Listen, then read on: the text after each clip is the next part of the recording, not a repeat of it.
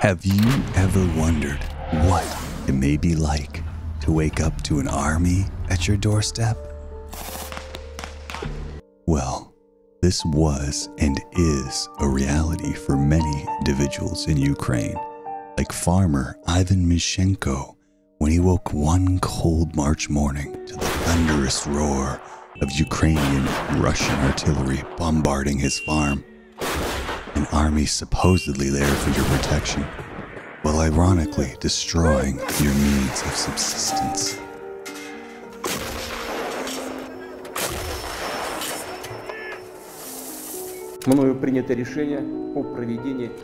On February 24, 2022, Russian Federation President Vladimir Putin escalated a relatively contained regional conflict into all out war.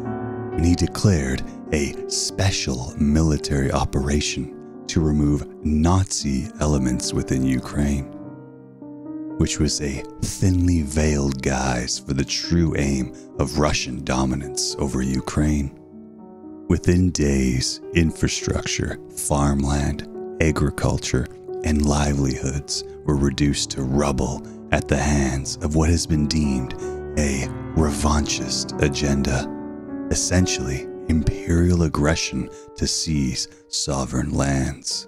The concept of sovereignty plays into the theme of how, since 2022, resilient Ukrainian farmers, specifically smallholder farms, have found methods of retaining their food sovereignty in the face of unprovoked aggression. What are smallholder farms?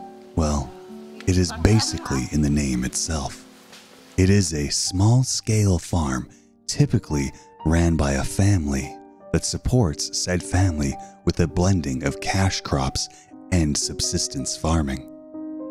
The crops grown and livestock reared is more diverse than the opposing large scale industrialized agriculture operations, which are typically profit based on a monoculture or one crop type growth cycle. Even though it is obvious that a large scale, massive industrialized farm can produce more than a smaller, smallholder farm, studies have suggested that small scale polyculture can produce more food per acre of land. Due to the smaller scale and far less reliance on industrial inputs, which include but are not limited to mass machinery, abundant amounts of seeds, heavy equipment, far more hands for labor, which during wartime conscription is a serious issue. Smallholder farms are far more resilient to turbulence and disruptions. They also offer a source of food security that large scale industrialized agriculture does not. As the war in Ukraine has shown, when a large farm is destroyed, it is incredibly difficult to return to pre war output, and during a crisis, the crops cannot be maintained in the way they can at a smallholder farm. To put things into a global perspective on how important smallholder farms are, there is an estimated 500 million of smallholder farms which assist in supporting almost 2 billion people. This is being seen within Ukraine, where smallholder farms have been able to support communities in dire need of food when large scale agriculture has been disrupted. Smallholder farms have been resilient since the early aughts of the war in Ukraine, having their lands trampled upon, leaving behind rotted husks of both man and machine. These smallholder farms have found methods to help answer the serious question of how will we eat this winter? These methods consist of smaller, more diverse crops which are able to sustain, albeit small, populations at a local level. This is a stark contrast to the tough rebound that industrial agriculture faces during open hostilities and the rebuilding phase that follows after conflict comes to a conclusion.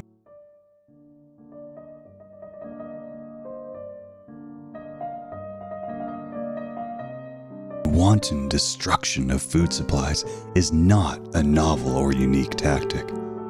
The method of destroying and or attempting to withhold foodstuffs has been an age-old and highly utilized technique for as long as humans have been in open conflict with one another, which as far as we know spans our entire existence.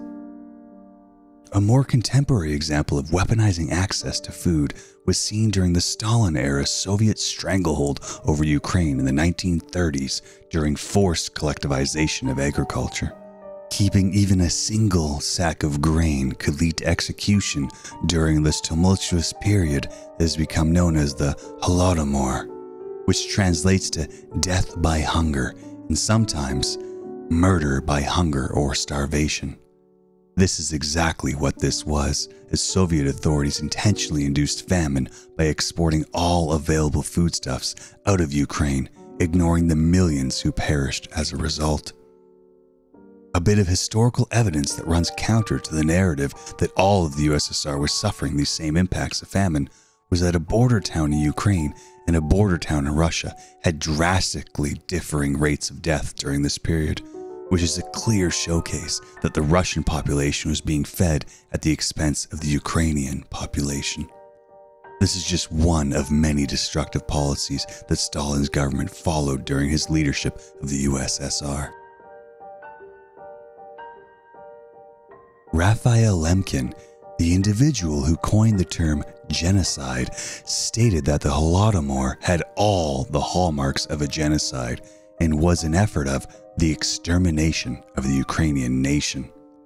Something that Putin himself adheres towards in his denial that Ukraine is an independent, sovereign nation.